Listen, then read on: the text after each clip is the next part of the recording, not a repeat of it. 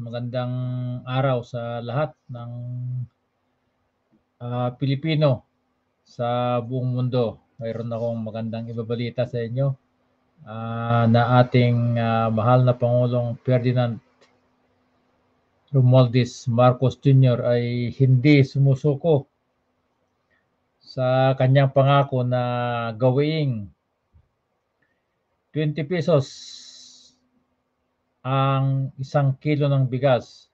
Ayon ito kay uh, Speaker uh, Martin Romualdez, mga kababayan. So malakas ang loob. Sa bagay, alam naman natin na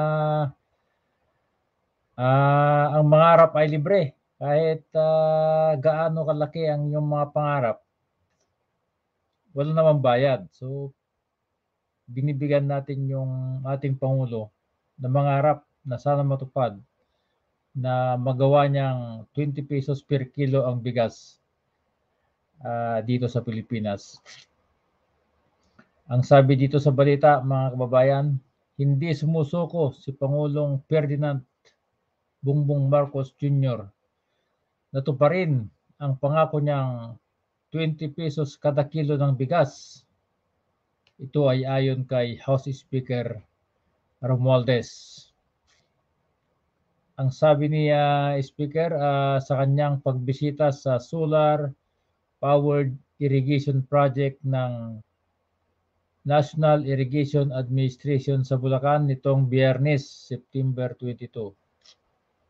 Ang sabi pa niya, walang masamang mangarap at gumawa lahat ng paraan para ma-achieve natin ito. Yan ang dagdag ni uh, Speaker Romualdez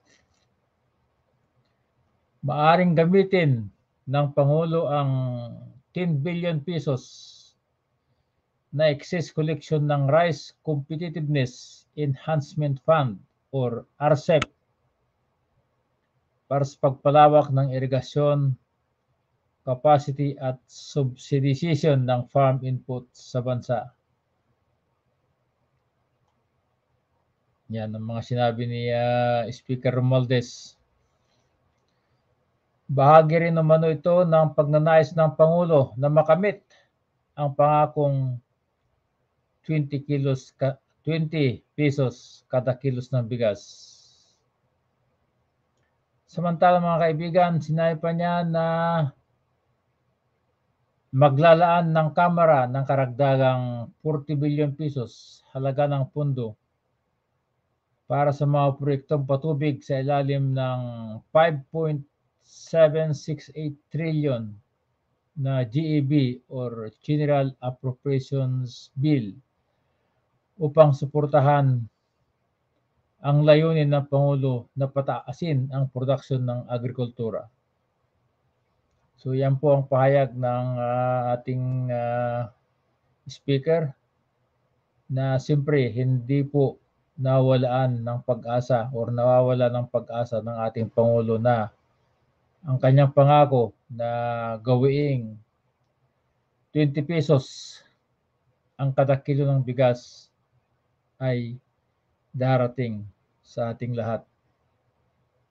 Hindi natin alam, pero sa nakikita natin ngayon, mga kababayan, ay marami siyang mga uh, ginagawa tungkol po sa agrikultura. At alam nyo ba na napakabait ang ating Pangulo? Na nakikita nyo naman sa mga balita na lahat ng smuggled rice ay ipinamamahagi niya sa mga kababayan natin na mahihirap. So napakagandang balita yan na sana ay matupad ang kanyang uh, pangako, ang kanyang uh, pangarap na maibaba ang presyo ng bigas sa 20 pesos per kilo. So, salamat sa inyong lahat mga kababayan. Again, huwag niyong kalimutan mag-follow, mag-subscribe, mag-like at saka mag-comment sa George R. Vlogs. Salamat sa inyong lahat.